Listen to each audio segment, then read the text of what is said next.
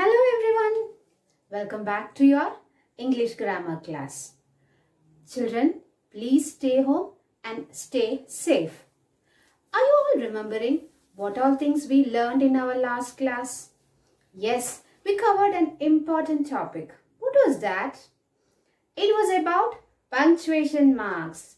Yes, punctuation marks help us to bring clarity to our sentences. Which all punctuation marks we, dis we learned? Yes, we learned full stop, then exclamation mark, then question mark, comma, apostrophe, inverted commas. Yes, I hope everybody understood all these punctuation marks. Now, we are moving on to the next session of our lesson that is capital letters. You all know about capital letters. When we studied about sentences, we learned that always a sentence should start with a capital letter.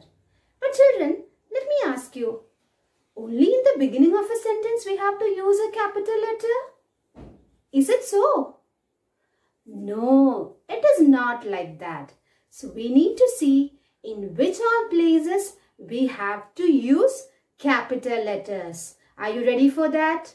Yes, have a look into the board. Yes, the name of our lesson is punctuation and capital letters. Children, the first instance where we have to use capital letters, it is in the beginning of a sentence. We know that always a sentence should begin with a capital letter. See the first one, I have written an example for you. Rekha is my sister. You know that. That is a sentence, isn't it? So the first letter of a sentence should always begin with a capital letter. Rekha, R. It is beginning with a capital letter. That is the first instance. Now, second one. You all know about pronouns, isn't it? Can you recall some pronouns? Ah, yes, he, she, it, they, I. Ah, all these are pronouns. Out of these pronouns, there is a special person. See? I. Wherever we are using the pronoun I, it should be written in capital letters. Even if it is in the beginning of a sentence, even if it is in the middle of a sentence, wherever it is, the pronoun I should be written in capital letters. You know these things? It's a new information for you. Always keep this in your mind. Now, the third instance. See these words? Ram, Sita, Kerala, Red Fort, April, Sunday. All these are what? They are? They are?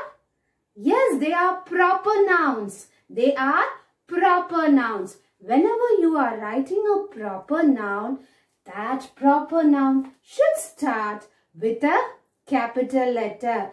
It was an easy way to identify a proper noun. When we learned about proper noun, we have studied this rule, isn't it?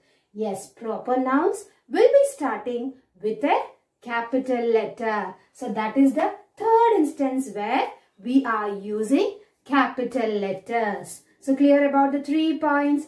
Now fourth one. See this? With lifted feet, hands still, and poised and down the hill. Do you remember this poem? Yes, downhill on a bicycle. Did you see? Both the letters are written in capital letters. Why? Yes, children, keep in your mind, every new line of a poem, every new line of a poem will be starting with a capital letter.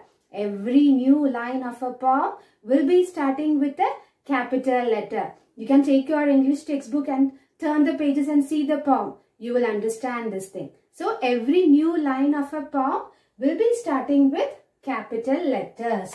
That is the fourth situation where we are using capital letters. Now next one see, fifth one, the iron beam. Do you remember this lesson? The iron beam? Yes, if you take our English textbook, there is one lesson called iron beam. That is the name of a lesson. So whenever we are writing any important headings, whenever we are writing any important headings, the main words will be starting with the capital letter. That is the next instance where we are using capital letters. So, so many things are there, isn't it? Now the next one. See this? Oh, alas, wow. All these are interjunctions. We will be studying about interjections in the coming lessons. So whenever we are writing these expressions, the first letter will be always in capital letters. That is the next instance. Now see the last one. The teacher said, be quiet.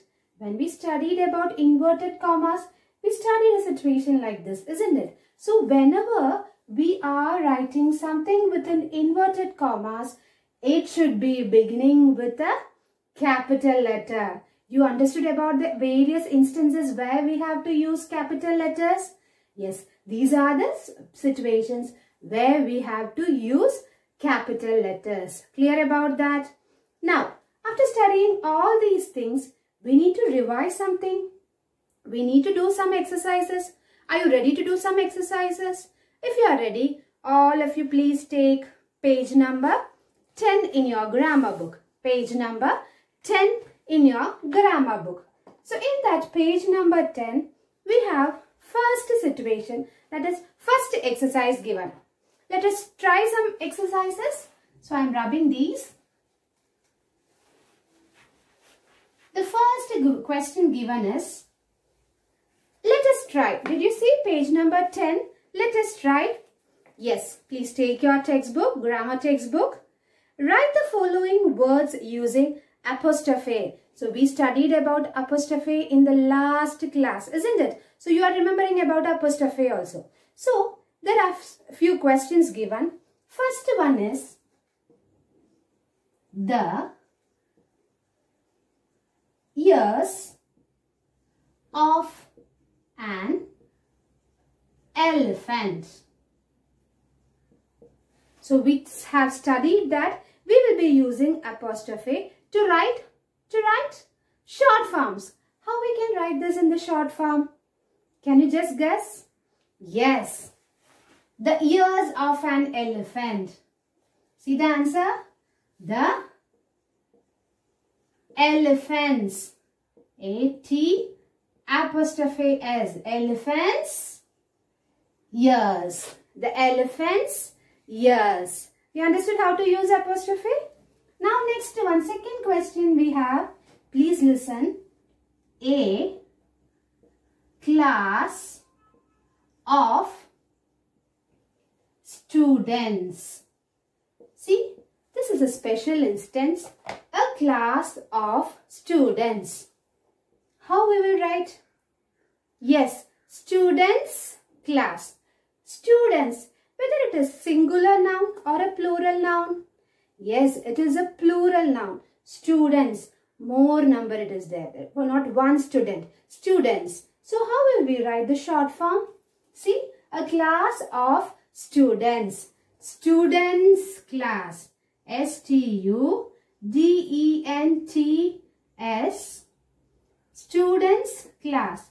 Where we will put this apostrophe? Students. Already it is a plural noun. So no need to add one more S. But the apostrophe will be after S. The apostrophe will be after S. Teachers class. Teachers. T-E-A. Teachers. Teachers class. So when we are writing a plural noun with the apostrophe in its short form, the apostrophe will be after that S. So clear about those things? Now three more questions are there. Can you please do it as homework? Yes, you can do it as homework, isn't it? Now, shall we move to the next exercise?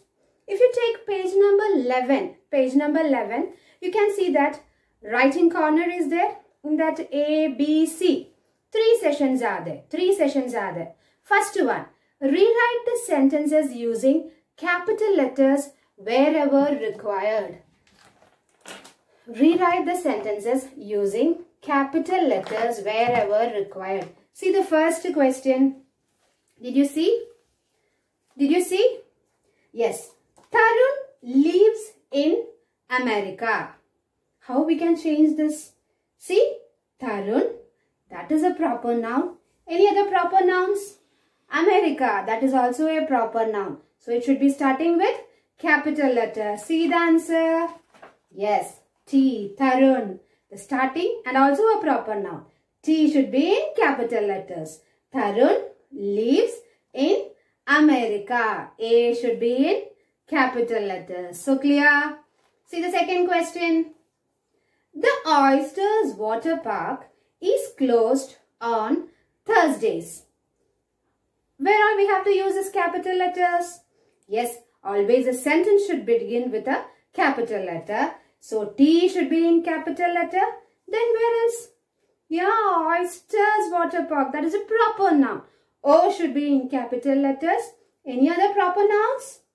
Thursdays. Thursday is a proper noun. So T also should be in capital letters. See the answer? The Oysters Water Park is closed on Thursdays. Clear? Yes? Now you have three more questions in that exercise. Please complete that as homework. Now we have the next question. Insert commas wherever required. Insert commas wherever required in the following sentence. That is exercise B in page number 11. See the first question.